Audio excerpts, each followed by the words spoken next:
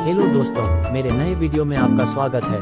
आज हम एक प्रेरणादायक कहानी प्रस्तुत करते हैं। सब्सक्राइब बटन दबाना और नोटिफिकेशन घंटी बजाना न भूलें ताकि आप इस चैनल का कोई भी जानकारीपूर्ण वीडियो मिस न करें।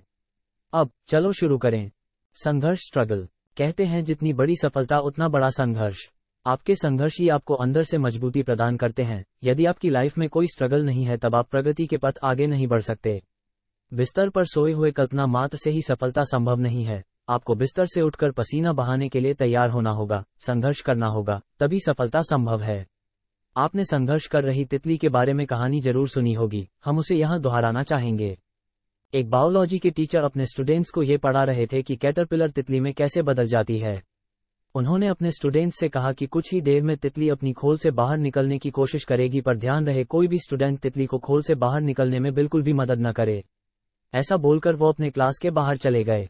तितली अपने खोल से बाहर आने के लिए संघर्ष करने लगी। वह बहुत कोशिशें और मेहनत कर रही थी, फिर भी खोल से बाहर नहीं निकल पा रही थी। ये देखकर एक छात्र को उस पर दया आ गई। वो अपने टीचर की कही बात को भूल गया और उसने संघर्ष कर रही तितली की मदद करने का फैसला किया। उस छात्र ने खोल को तोड़ दिया, जिस कारण तितली को बाहर निकलने में किसी तरह की ज़्यादा मेहनत नहीं करनी पड़ी और वह आसानी के साथ अपने खोल से बाहर आ गई। लेकिन जैसे ही तितली अपने खोल से बाहर आई, थोड़ी ही देर में वो मर गई।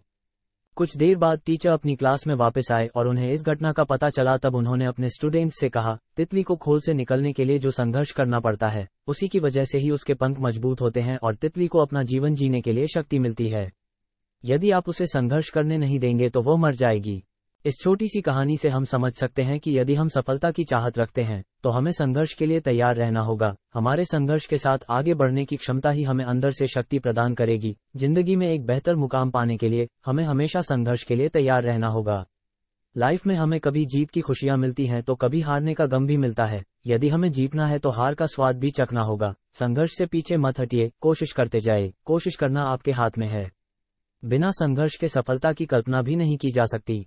किसी भी व्यक्ति को एक दिन में ही सफलता नहीं मिल जाती। उसकी सफलता में बार बार की कोशिशें, उसकी असफलताएँ, उसका संघर्ष और कई सालों की कड़ी मेहनत शामिल होती है, तब जाकर वो एक दिन सफल हो पाता है।